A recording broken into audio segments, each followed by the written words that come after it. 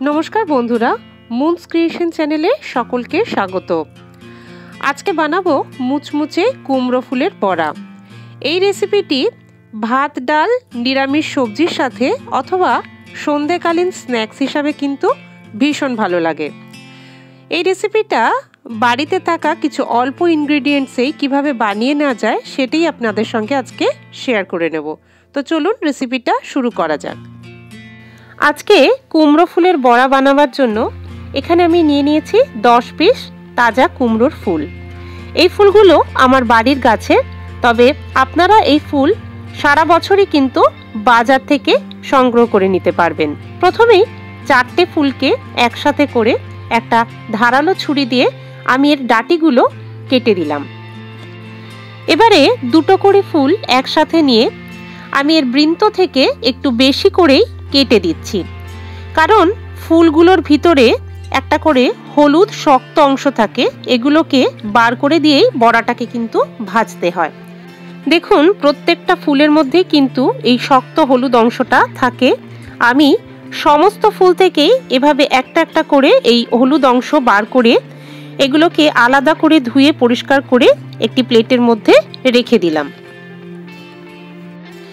অন্যদিকে একটা পাত্রের মধ্যে আমি নিয়ে নিচ্ছি চার চা চামচ বেসন আর নিয়ে নিলাম এক চামচ উঁচু উঁচু করে চালের গুঁড়ো। দিয়ে দিচ্ছি স্বাদ অনুসারে নুন আর দিয়ে দিলাম সামান্য একটু শুকনো লঙ্কার গুঁড়ো। এবার সবটাকে অল্প অল্প করে জল মিশিয়ে এইভাবে আমি একটা স্মুথ ব্যাটার তৈরি করে নিচ্ছি। বেশি পরিমাণে জল আগের থেকে ঢেলে দেবেন না। তাহলে খুব বেশি পাতলা হয়ে গেলে কিন্তু বড়াটা কিন্তু ভালো হবে না। এবার এর সাথে আমি মিশিয়ে দিলাম সামান্য একটু খাবার সোডা। খাবার সোডায় কিন্তু বড়াগুলো একটু বেশি ফুলে উঠবে।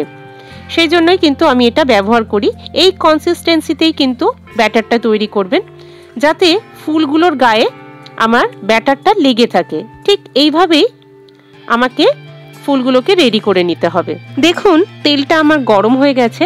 এবার একটা একটা করে ফুল এইভাবে ব্যাটারের মধ্যে চুবিয়ে কিন্তু আমি ছেড়ে দিচ্ছি। এগুলোকে লো টু মিডিয়াম ফ্লেমে কিন্তু রান্না করে নিতে হবে, না হলে খুব বেশি আছে এগুলো পুড়ে যাবে। বড়াগুলো বানানো খুব সহজ, খুব অল্প সময়ের মধ্যেই কিন্তু এগুলো তৈরি হয়ে যায়। দেখুন, এক পিঠ ভাজা হয়ে গেছে বলে এগুলোকে আমি উল্টিয়ে দিলাম। আপনারাও এটা বাড়িতে ট্রাই করে দেখবেন।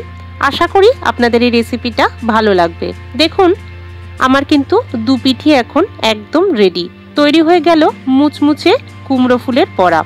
রেসিপিটা ভালো লাগলে আমাকে কমেন্টস বক্সে লিখে জানাবেন এবং নতুন বন্ধুরা আমার চ্যানেলটা ভালো লেগে থাকলে সাবস্ক্রাইব করে দেবেন এবং পাশে থাকা বেল বাটনটাও প্রেস করে দেবেন।